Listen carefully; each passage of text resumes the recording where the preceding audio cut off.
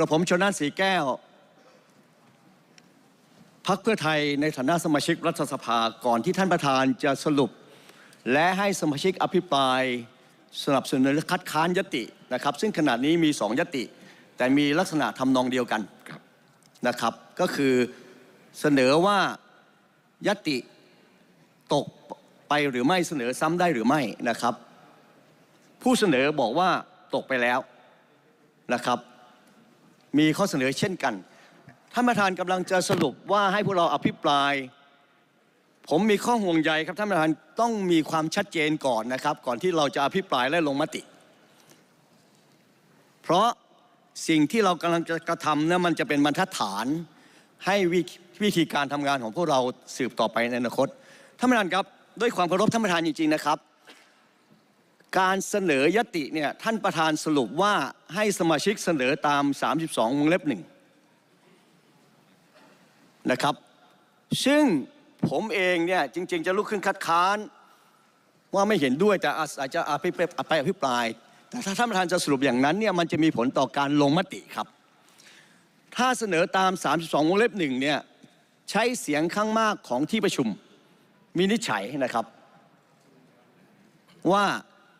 ข้อบังคับที่เรามีปัญหาขนาดนี้เนี่ยอีกซิกหนึ่งตีความว่าไม่ใช่ 41 นะครับ อีกซิกหนึ่งก็ต้องบอกว่าเป็นไปตาม 41 ถ้าท่านประธานใช้ 32วงเล็บหนึ่งเนี่ยใช้เสียงข้างมากวินิจฉัยเนี่ยผมเกรงว่าจะไม่ชอบด้วยข้อบังคับการประชุมรัฐสภาครับ เพราะอำนาจการวินิจฉัยปัญหาใด ๆ เกี่ยวกับการใช้ข้อบังคับนะครับท่านประธาน ข้อสรุปขนาดนี้เนี่ยเรากำลังมีปัญหาเกี่ยวกับการใช้ข้อบังคับ พวกผมเนี่ยใช้ 136 ถึง 139 โดยเฉพาะ 136 ที่รองรับรัฐธรรมนูญ372 เน้นนะครับ 8 พักร่วมเนี่ยใช้ 136 แต่ไปโหวตไปแล้วเนี่ยไม่ได้รับเสียงเกิน 375 ท่านบอกตกไปแล้ว การเสนอชื่อผู้สมควรเป็นนายกรัฐมนตรีตกไปแล้วใช่ครับ พอจะเสนอเข้ามาใหม่ ท่านไปอ้างข้อ 41 ว่าตกไปแล้วเสนอไม่ได้ พวกผมบอกเสนอได้ เพราะไม่ได้ใช้ข้อ 41 นี่คือมีปัญหาการใช้ข้อบังคับท่านประธานต้องอยู่ตรงนี้ก่อนนะครับ อย่าไปที่อื่น ถ้ามีปัญหาข้อบังคับอำนาจการวินิจฉัยมีสองกรณีท่านเองครับหนึ่งท่านประธานเองต้องวินิจฉัย เช่นข้อ 41 เนี่ยให้ท่านประธานวินิจฉัย ประธานอนุญาต กรณีมีเหตุการณ์เปลี่ยนแปลงไปเป็นอำนาจท่าน แต่ท่านเองไม่ได้วินิจฉัยประเด็นนี้ ท่านบอกว่ามันไม่มีเหตุการณ์อะไรเปลี่ยนแปลง เสนอเหมือนเดิม8พักร่วมเหมือนเดิม ท่านก็ไม่มีข้อมูลหรือเหตุผลที่จะมาวินิจฉัยว่าให้เสนอให้เสนอการเสนอชื่อผู้สมควรเป็นนายกรัฐมนตรีได้ ผมเน้น นะครับว่าผมไม่พูดว่าเป็นยตินะครับ ซึ่งกระบวนการเนี่ยมันทำเหมือนการเสนอยติท่านประธานครับมาตรงนี้ปุ๊บเนี่ยมาอยู่ในกรอบว่าท่านประธานไม่วินิจฉัยแล้วใครวินิจฉัย ท่านบอกต้องเป็นหน้าที่ของที่ประชุมของรัฐสภาวินิจฉัยท่านประธานครับ ถ้ารัฐสภาจะวินิจฉัยเกี่ยวกับการบังคับใช้ข้อบังคับ ก็คือการตีความข้อบังคับ ขณะนี้เรามีปัญหาการตีความข้อบังคับอยู่สองซี่เขียนไว้ชัดครับ ข้อ 151 เขียนไว้ชัดกรณีมีปัญหาตีความข้อบังคับนะครับท่านประธานผมขออนุญาตอ่านนะครับ อ่านให้ที่ประชุมฟังเลย ด้วยความเคารพท่านประธาน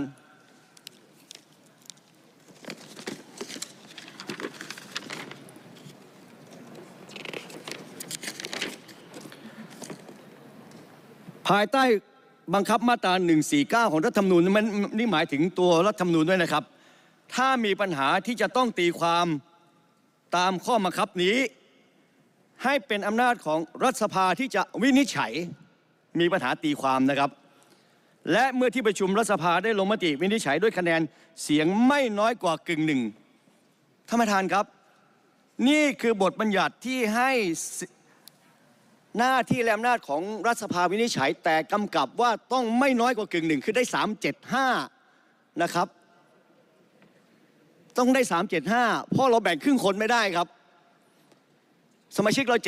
749 กึ่งหนึ่งมันก็ 374 จุดจุดจุดจุดแต่แบ่งครึ่งคนไม่ได้ก็ต้องเอา 375 คือมากกว่ากึ่ง แต่ข้อบังคับนี่เอาแค่ไม่น้อยกว่ากึ่ง ถ้าสมาชิกมี 750 ก็ต้องได้ 375 ขึ้นไป ถึงจะมีอำนาจวินิจฉัยข้อบังคับนี้ได้ เพราะฉะนั้นเนี่ยตรงนี้สำคัญนะท่านประธานผมต้องลุกขึ้น เพราะว่าถ้าท่านโหวตตามที่เขาเสนอเนี่ยเสียงข้างมากผ่านเลย แต่การโหวตครั้งนี้นะครับ ถ้ารัฐสภาวินิจฉัยด้วยเสียง 374 นะครับยติที่ท่านเสนอนี่ตกเลยนะครับ วินิจฉัยไม่ได้ ก็เป็นไปตามข้อบังคับเราก็เข้าสู่การโหวตนายกต่อเลย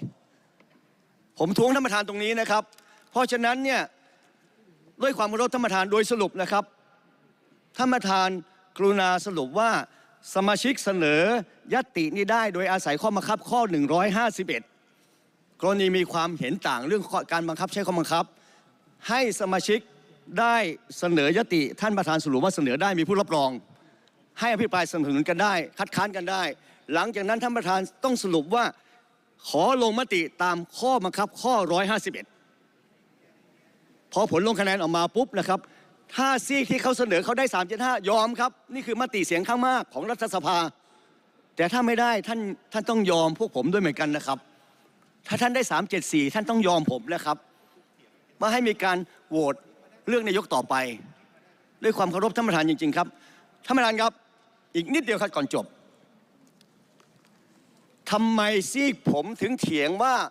มันไม่ใช่ยติ ตามข้อบังคับข้อ 41 ครับ ท่านประธานครับ แล้วพวกผมก็บอกว่า แม้มันมีกระบวนการดำเนินการเสมือนยติ เพราะยติตามข้อบังคับการประชุมรัฐสภาเนี่ยผู้ร่างผมเองหนึ่งในนั้นครับ ผมร่างข้อบังคับการประชุมสภาผู้แทนราษฎร เราเขียนที่ยาวไม่ชัดครับไปอ่านได้ดูได้ยติคือข้อเสนอใด ๆนะครับ ที่ให้สภามีมติให้ทำการอย่างใดอย่างหนึ่ง ต้องมีมติให้ทำอย่างใดอย่างหนึ่งคำว่าอย่างใดอย่างหนึ่งนี่มีความหมายชัดครับท่านประธานครับจะไปซ้ายก็ได้ไปขวาก็ได้แล้วแต่มติสภา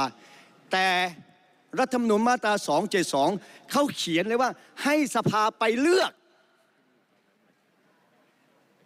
ไปเลือกนะครับ ไม่ไปดำเนินการคำว่าเลือกนี่คือดำเนินการอย่างหนึ่ง เท่านั้นไม่มีอย่างใด ต้องไปเลือก